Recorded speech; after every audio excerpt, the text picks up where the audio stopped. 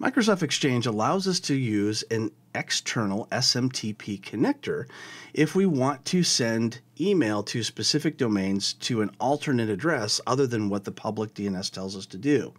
And that can be very useful if for some reason the public DNS server has outdated or corrupt records for the domain where we want to send email.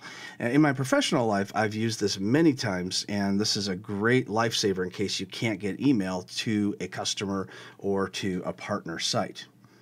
So what we want to do is to get to that SMTP connector area by clicking on the admin icon from your Office 365 homepage. And from there, go to the Office Admin Center, and we're going to click on Exchange under the Admin Centers. Once we do that, it takes us to the connectors page.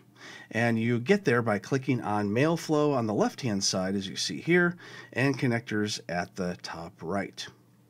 So there is no default connector like there is in a regular Microsoft Exchange deployment. And that's because Office 365 does not want you to accidentally delete it or mess it up and cause a problem with Mailflow. However, we can create a new one. So let's go ahead and click the plus and create a brand new one. Now, there are some interesting uh, perspectives as far as which way your email is coming. Is it going out? Is it going in? So, in this case, this is email going out to, say, a client server someplace else where we can't get email through because the public DNS is messed up. So, what we want to do is we want to click on it's being sent from Office 365, which is exactly where we're coming from, and it's going to be sent to a partner organization. Let's go ahead and choose that and click Next.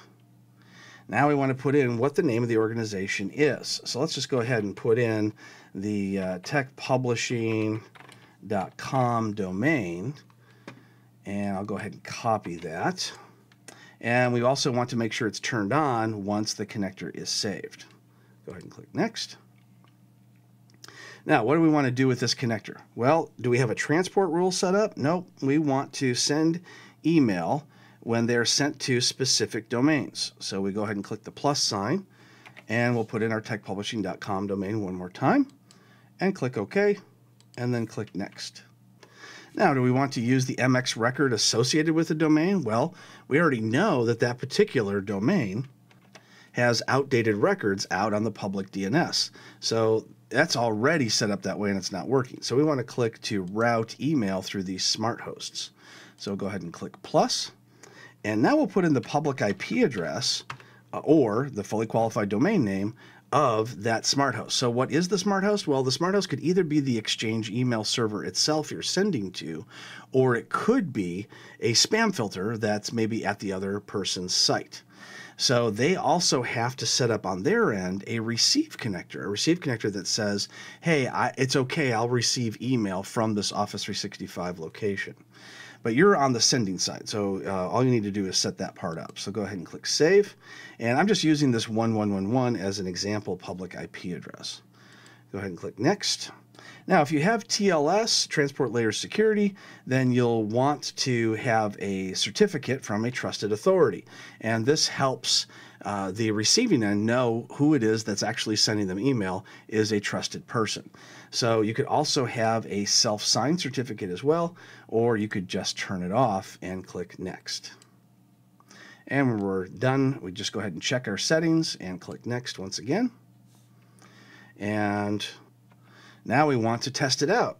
So we'll go ahead and click the plus sign and we'll just say we want it to go to administrator at and then the domain name and click OK. And when we validate, of course, we're going to get an error because this is a test, but it does check this out for you. And if it does validate, it will let you complete it and finish it, and then your connector is done. Let's go ahead and click stop, just because we know this is not going to validate. And when we're all done, we'll go ahead and click save. Yes, we do want to save it anyway, even though it was not successfully validated.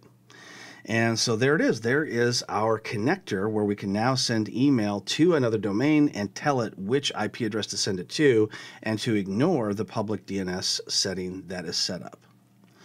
And that's how you do that in Office 365.